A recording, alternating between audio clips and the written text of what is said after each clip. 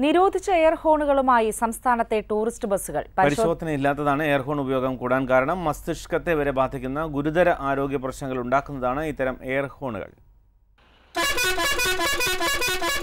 നിയമമനുസരിച്ച് ടൂറിസ്റ്റ് ബസ്സുകളിൽ തൊണ്ണൂറ്റിയൊന്ന് ഡെസിബിൾ വരെയുള്ള ഹോണുകൾ മാത്രമേ ഉപയോഗിക്കാൻ പാടുള്ളൂ. എന്നാൽ നൂറ്റി ഇരുപത് ഡെസിബലിന് മുകളിൽ തീവ്രതയുള്ള എയർ ഹോണുകളാണ് ടൂറിസ്റ്റ് ബസ്സുകളിൽ പിടിപ്പിച്ചിട്ടുള്ളത്.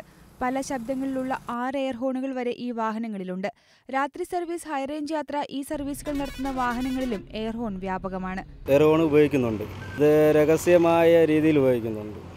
ദീർഘദൂര സ്വകാര്യ ബസ്സുകൾ മത്സരയോട്ടത്തിന് വേണ്ടി ഒന്നിലധികം എയർഹോണുകൾ ഉപയോഗിക്കുന്നതും വ്യാപകമായിട്ടുണ്ട്.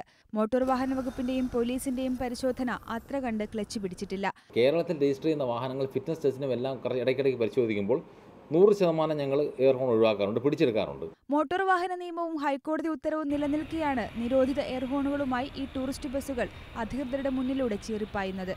നിരോധനം കടലാസിൽ മാത്രം. നിയമലംഘനത്തിന് അധികൃതരുടെ കൂടി ഒത്താശയുള്ളപ്പോൾ ആരെയും പേടിക്കേണ്ടെന്ന യാഥാർത്ഥ്യവും ബാക്കി. P R Praveena Asianet news.